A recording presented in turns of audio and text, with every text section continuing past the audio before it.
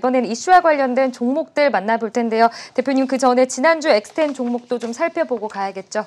네, 일단 어, 지난주에도 세 가지 종목을 했었었는데 네. 특히 이제 먼저 나노 신 소재 같은 종목군들이 일주일 지나고 난 다음에 소폭 지금 조정이 조금 들어왔는 상황입니다. 어. 하지만 지난주에 말씀드렸다시피 이걸 뭐 단기간에 우리가 승부를 보기보다는 꾸준한 추세적 상승이 가능한 종목이라는 부분에서 선점을 해서 말씀드렸던 내용이니까요. 거기에 대한 AS는 제가 방송 끝나고 온라인 주식 강의를 통해서 좀 더 자세하게 말씀을 드리겠고요.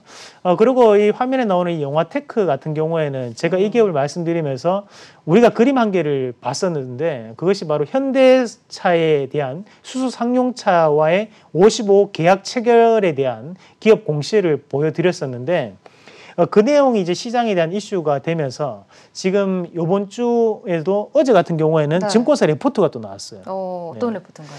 어, 이 영화 테크에 대해서 좋게 얘기하는 레포트였죠. 오. 어, 그만큼 뭐 경제 방송을 보고 있다는 거죠. 네, 그분들도. 계속해서, 음. 어, 그래서 지금 이 영화 테크 같은 경우에는 일주일 동안 약 21%가 급등하는 모습이 나타났습니다. 하지만 이런 기업들이 이제 전기차와 또 수소차에 대한 분위기가 타면서 주가에 대한 움직임이 상당 부분 바뀔 수 있기 때문에 전에 시간적인 부분이 걸릴 뿐이지 음. 어, 다시 한 번 더 주가는 어, 상당한 상승세가 나타날 가능성이 높다. 그래서 지금 21% 일주일 내에 올랐는데요. 일부는 이익 실현 하시고요. 나머지는 부담 없는 선에서는 한번 신고까지도 한번 들어가 보자는 말씀까지 드리겠습니다. 네, 알겠습니다. 지난주 엑스텐 종목들까지 점검을 좀 해봤습니다. 이번엔 오늘 이슈와 관련된 엑스텐 종목들까지 좀 만나봐야겠죠. 대표님 오늘 어떤 종목 준비해 주셨나요? 뭐 오늘 종목도 한번 같이 네. 보면서 말씀을 좀 드리도록 하겠습니다. 자, 우선 오늘 어, 우리가 먼저 봐야 되는 것이 램 종목. 테크놀로지 좀 음. 말씀을 드리도록 하겠습니다.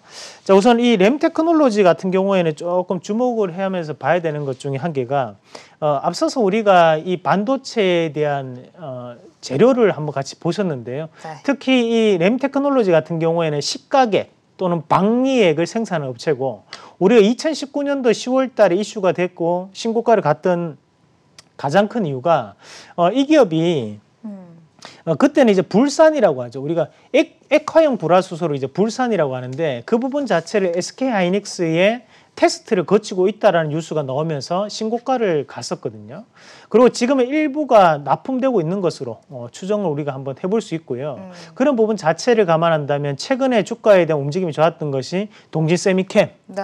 또는 ENF 테크놀로지, SK 머티리얼즈, S&S텍 음. 이런 것들이 다 포토 공정에 들어가는 또는 식각 공정에 포함되는 종목군들입니다. 음. 그런 부분 자체를 감안한다면 지금 이 램 테크놀로지는 충분히 추가적인 부분에서의 변화가 가능하다라고 보고 거기에 대한 변화 가능성에 우리가 좀 더 베팅할 필요가 있지 않나라는 말씀을 드리도록 하겠습니다. 네. 최근에 주가 많이 빠졌거든요. 어. 주가에 대한 변화 한번 기대를 해보도록 하겠습니다. 네, 알겠습니다. 두 번째 종목도 빠르게 한번 만나보도록 할게요. 어떤 종목인가요? 네, 두 번째는 모바일 어플라이언스를 말씀을 드릴 텐데요. 네. 어, 이 우리가 이제 7월 달부터 시작을 해가지고 법 제정이 조금 바뀝니다. 음. 어, 우리가 이제 이 자율주행 관련해 가지고 예전에는 레벨 2라고 해 가지고 어, 우리가 cruise control이라든지 어, 또는 이제 이 핸들을 손을 딱 떼잖아요. 네. 그러면 이 독일 차들 같은 경우 핸들에 손을 떼면 핸들을 잡으세요라고 경고 문구가 떠요. 어, 그러면 이건 반자율 주행이죠. 그렇죠, 그렇죠. 그러면 어, 핸들을 꼭 잡고 있어야지만 주행이 가능한 것은 레벨 2라고 합니다. 네. 어, 근데 이제 레벨 3으로 넘어가면 그게 뭐가 달라지냐면 어, 일정 구간 동안은 핸들에서 손을 떼도 음. 어, 차가 알아서 운전할 수 있는 어. 정도가 되는 기술력을 우리가 레벨 3이라고 하는데 어, 7월부터는 이 레벨 3 단계로 넘어가죠. 네. 그러나 법 제정이 바뀌는 상황이기 때문에 그만큼 이런 자율주행 차들에 대한 기술적인 부분 자체가 상당한 이슈가 될 수 있다고 봐야 되는데요. 특히 오늘 소개를 해드린 이 모바일 어플라이언스 같은 경우에는 지금 현재 독일 3사 뭐 벤츠라든지 또 BMW 또는 네. 아우디 기업의 블랙박스를 일단은 납품을 하고 있고 음. 거기에 HUD에 대한 시스템도 납품을 하고 있는 기업입니다. 음. 어, 또한 지금 보면 앞서서 말씀드렸다시피 이제 반자율 주행이라든지 또는 자율 주행에 대한 상당 부분에 대한 기술력적인 부분이 올라와 있는 기업이기 때문에 음. 어, 앞으로에 대한 주가도 상당 부분 바뀔 수 있다라고 판단하고요. 음. 기업에 대한 주가 추이를 잠깐 한번 같이 보시면 네. 자, 요 기업이 전일 6월 29일 날 보면 14% 급등이 나오면서 일부 거래가 좀 터졌습니다. 어. 하지만 여기에서 뭐 뉴스에 대한 움직임은 없었고 앞에서 있던 자리를 돌파를 하지 못하고 다시 한 번 더 조정이 건전하게 들어오는 과정이라고 판단하고요. 음.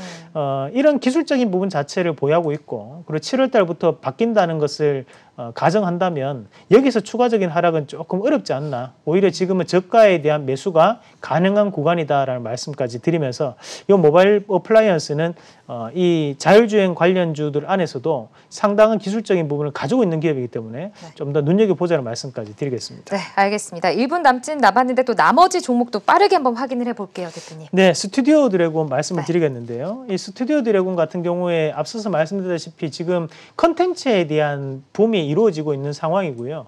가장 어, 어떻게 보면 이제 넷플릭스의 직접적인 수혜주라고 볼 수 있죠. 그런 넷플릭스가 지금 현재 신고가를 한번 갔다가 다시 한번 조정을 좀 보이고 있는 상황이라고 판단했을 때 지금 이런 스튜디오 드래곤은 앞으로에 대한 성장 가능성이 좀 높다라고 판단할 수 있습니다. 그러면 지금은 이런 K 컨텐츠라는 것이 새로운 문화가 형성되는 상황이기 때문에 그 문화적인 힘을 바탕으로 해서 기업에 대한 value up이 좀 더 재평가되면서 이루어질 수 있다는 말씀까지 드리겠습니다. 네, 알겠습니다.